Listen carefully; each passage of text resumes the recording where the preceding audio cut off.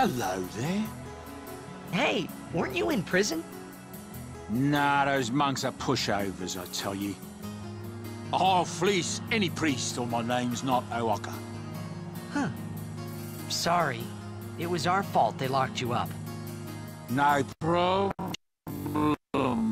Anything for a customer, eh? You know, I had a sister, once as old as sister, you see. Summoner she was, went on pilgrimage at a young age. And that was it.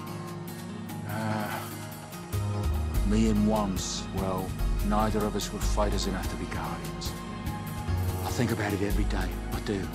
If we could have helped her. Least I can do is try to help another summoner, I forget. And Lady Yuna, she looks so much like... Uh, Huh? it, it's nothing. Say, thanks. Wantz has got all the good stuff. O'aka the 23rd's retiring.